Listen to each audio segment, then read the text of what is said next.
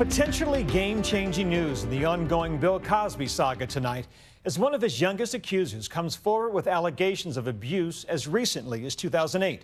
After so many other alleged victims have come forward without having their day in court, she opens up to ABC's Kayna Whitworth. It is such a traumatic and hard thing to live with. Hey guys. 25 year old Las Vegas model Chloe Goins is one of the youngest women to come forward accusing embattled comedian Bill Cosby of sexual abuse publicly. Her lawyer believes that she is Cosby's only alleged victim to fall within the statute of limitations, making her claims a potential game changer in the firestorm surrounding the man who was once America's favorite dad, star of the legendary Cosby Show.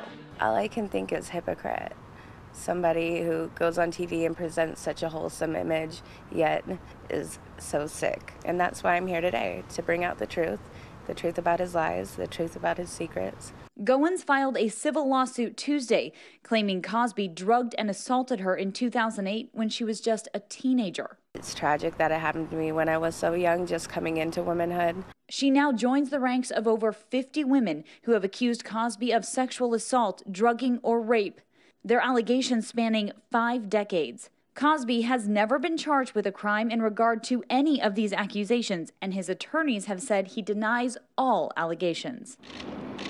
Goins' lawyer says Cosby offered Goins a drink at a party at the Playboy Mansion in 2008. Chloe had a few sips of the drink and began feeling nauseous and dizzy.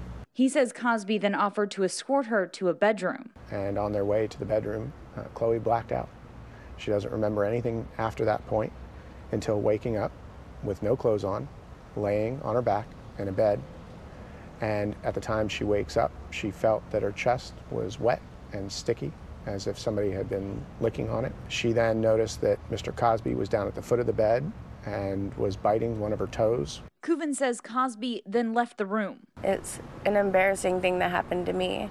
Goins did not report the incident to police until January of 2015. The LA Police Department turned over the results of their investigation to the LA County District Attorney's Office just last week, and they're now deliberating whether or not to charge Cosby criminally. Why did you decide to go public? I decided to come public and come forward and relive everything that happened to me um, because of the other women all the other women that have been abused by Mr. Cosby, and I would like to see justice for all of us. Her lawyers now believe she has a valid claim to bring forward both criminal and civil action against Cosby. The statute in California is very clear. She has eight years after age of majority, eight years after turning 18 to bring her claim up until age 26.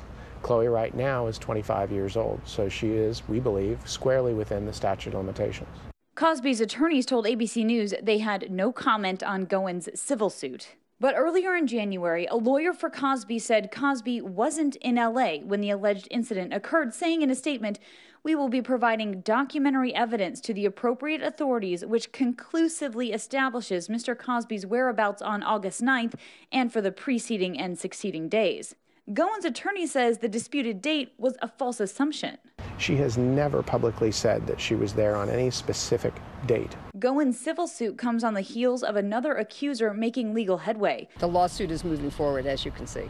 Tomorrow, Bill Cosby is set to be deposed under oath for the first time since mounting allegations of sex abuse against him made headlines earlier this year. In any deposition, uh, we are permitted to ask any question that is relevant and that is reasonably calculated to lead to the discovery of admissible evidence. And so we have wide latitude in any deposition uh, so that we are able to prepare our case for trial. Gloria Allred's client, Judy Huth, alleges the 78 year old star forced her to perform a sex act on him at the Playboy Mansion in the mid 70s when she was just 15 years old. We're looking forward to proceeding with this case. A judge has ordered the deposition, recording, and transcript to remain sealed until December at least, pending further arguments. Cosby's lawyers have denied Huth's claims in court documents, calling them absolutely false and baseless. I expect that Bill Cosby will invoke his Fifth Amendment right against self incrimination on almost all of the crucial questions that Gloria Allred or any other attorney wants to ask him. statutes of limitations prevent most of Cosby's accusers from attempting to file criminal charges or civil claims against him for incidents that allegedly occurred so long ago. But that hasn't prevented others from speaking out. In September, over a dozen women spoke out in A&E's Cosby, The Women Speak. I first met Bill Cosby in 1969. In 1976. In 1984. Among them, Beverly Johnson, celebrated model of the 80s. Johnson says she was invited to Cosby's brownstone to rehearse in the mid 80s. He said there's an exercise you do in method acting, you know, on which you act like you're drunk. Next, she says he insisted she try a cappuccino. Immediately, I felt woozy. Everything was spinning, and I was, you know, dizzy, and I knew I had been drugged. No doubt in my mind. He puts one hand around my waist, and I remember cocking my head and saying, You're a aren't you? According to Johnson, Cosby escorted her out of the house and threw her into a taxi. I was so disappointed. it was like a family member had done something to me. I knew that the kind of person I was dealing with would destroy me.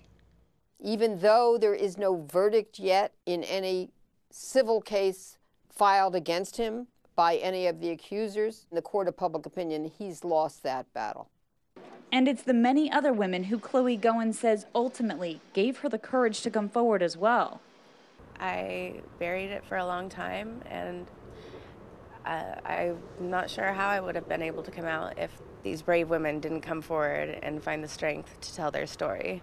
Goins' civil lawsuit includes a list of 40 other accusers we felt it was very important to give a voice to those victims, all 40 women that we were able to identify their voices, their stories, and be able to talk to them in this litigation so that they can speak on the record for the first time. I'm trying to heal myself from everything that's happened and coming out about it and speaking about it, it does help. It's been very hard. When this is all said and done, what is justice for you? I would like to see him behind bars for everything he's done.